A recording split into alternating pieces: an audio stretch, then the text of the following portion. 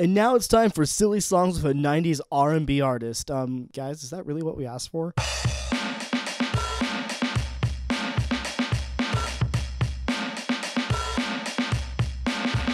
Now, Laura's on some top line, looking kinda huffy. She'll be missing out on two because the tickets on the curb. Dummy looking closer, you're the Billy Joe McGuffey. If you're messing with the junior, then you get what you deserve. But the venue's menus show a lot more than seafood. A lot of time to grow all the tomatoes and paint. These three dudes schmoozing like they wanna see a redo.